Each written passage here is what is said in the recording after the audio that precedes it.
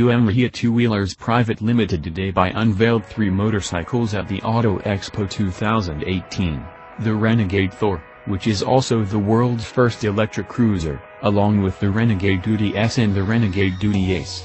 The Renegade Thor produces an impressive 30 kW of power along with 70 Nm of torque, and is equipped with a 5-speed transmission gearbox, with a hydraulic clutch and a liquid-cooled motor with a controller.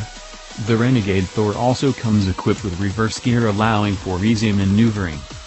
The Renegade Duty S and the Duty Ace come with a 223cc single-cylinder engine mated to a 5-speed gearbox. The 4-stroke oil-cooled engine churns out 17 PS of power at 8,000 revolutions per minute and 17 Nm of torque.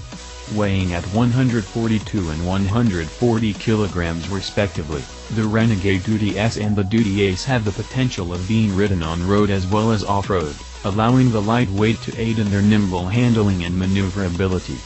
Pricing for the Renegade Thor starts at Rs 4.9 lakh while the pricing for the Renegade Duty S and the Renegade Duty Ace starts at Rs 1.10 lakh.